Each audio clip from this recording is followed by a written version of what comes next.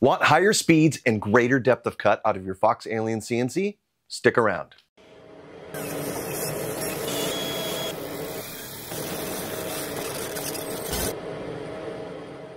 Welcome back to the channel, everyone. I'm Brett, and this is my Laser Garage. Today, we're going to give the Fox Alien Masuter 3S CNC a little extra power. That's right, I'm going to show you how to swap out the stock 400 watt spindle for a trim router, and we'll see how fast we can get this thing going. First off, I want to say I really like using spindles on CNCs in general, and the 400 watt spindle that comes with the CNC is no exception to that. I like it because it's super quiet, it's controlled through G-code, and can run quarter inch end mills by swapping out the collet. Its major disadvantage though is power. Although it can run quarter inch end mills, speeds and feeds must be turned down or cut quality will suffer greatly or you'll stall out the spindle. I'm okay with going a little slower in most situations, but other times I need some speed. If you're looking to run these types of quarter inch shank bits on your Masuter 3S, the trim router is for you. Let's learn more about it and see how it's installed. With 710 watts of power, adding the Fox Alien trim router to the CNC will help run higher speeds with greater depths of cut, equaling faster project times. The diameter of the Fox Alien trim router is 65 millimeters, and the mount I'm going to use to connect it to the Masuter 3S conveniently is included with the CNC. The Fox Alien dust boot also fits with the stock spindle and the 65 millimeter router, so that's another bonus. Let's take a look at just how easy this router is to install on the Masuter 3S. And oh yeah, if you don't have the 3S and want to install this on another Fox Alien CNC, don't worry. Most, if not all of these steps will apply to any of their machines. To install the router, all you need to do is disconnect the wire connecting the spindle, remove the 52 millimeter spindle and mount by removing these two bolts and four bolts on the mount, remove the 52 millimeter mount and replace it with the 65 millimeter version and tighten the bolts. Then insert the trim router into the mount. I like to mount the router like this so I can get the greatest Z-axis clearance, yet still be able to attach the dust boot. Once you get it where you want it, tighten up the two mounting bolts to lock it in place. Finally, if you'd like, you can run the router's power cable neatly through the drag chain before plugging it into the wall. I'm not going to do this right now because of a special reason I'll talk about later in this video. So that's it for the installation. Really easy. Now let's run some tests.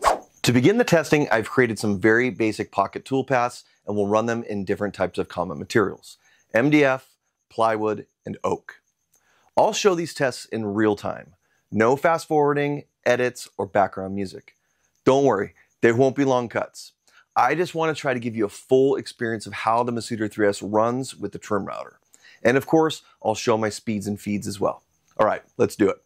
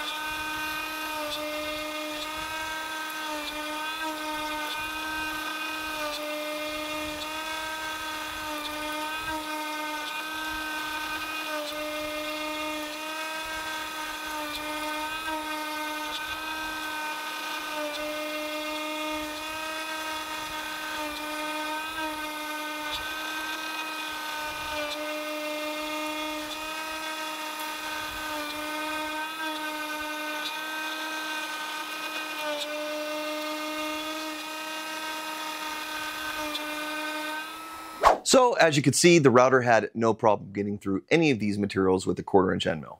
In fact, I probably could have even gone faster, especially in the MDF. That's something I'm gonna have to experiment more with in the future. For now, let's go ahead and test some more by running an actual project using different tool changes and tool paths. For this project, we're gonna make a simple oak valet tray. This project will include a roughing tool path using a quarter inch roughing end mill, a finishing tool path using a three quarter inch bowl bit, and a contour toolpath using a quarter inch compression end mill. First off, we have the roughing toolpath. This is going to take out the bulk of the material at a high speed so we can get the job done faster and also save our bowl bit a little. I'm using a quarter inch beast end mill from IDC Woodcraft, which is basically a serrated cutter that is able to remove a bunch of material quickly. I'm running this at 120 inches per minute with a depth of cut of a quarter inch and a step over of 0.1 inches. I could have probably easily gone to a half inch depth of cut with this end mill, but chose to keep it somewhat conservative.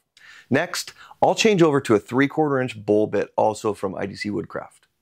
I'm just going to be taking a little bit of material off of this bowl bit and its main purpose is to give a nice rounded edge to the bottom of the pocket. I ran this toolpath a second time, changing the step over from 0.1 inches to 0.05 inches, and increased the feed rate to 120 inches per minute as a final finishing pass to help eliminate any tool marks. Last, I switched over to a quarter inch Jenny compression bit from Cadence Manufacturing to cut out the valet tray. I ran this bit at 80 inches per minute with a depth of cut of 0.2 inches. Everything turned out great and I have very little post-processing to take care of on this piece. I'll just give it a light sanding and hit it with some coats of shellac and it'll be completed. I'm very impressed with the speeds I was able to run the Masuter 3S at in order to complete this project. And there's always room to tweak these settings for further improvement. So there you have it. Now you know how to install a trim router on your Fox Alien CNC and have learned a little bit about what it can do. Overall, I think this is a great addition to a well-built CNC like the Masuter 3S and will allow you to take more advantage of the CNC's sturdy construction and closed loop stepper motors.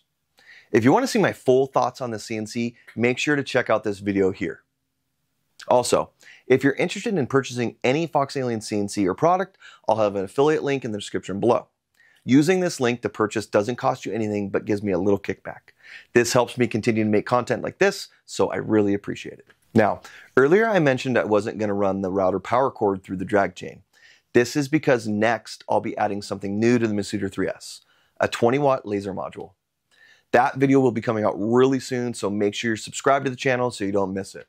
Well, that's it for today. If you like this video, hit that like button and don't forget to check out my other laser and CNC videos showing up on your screen in a few seconds.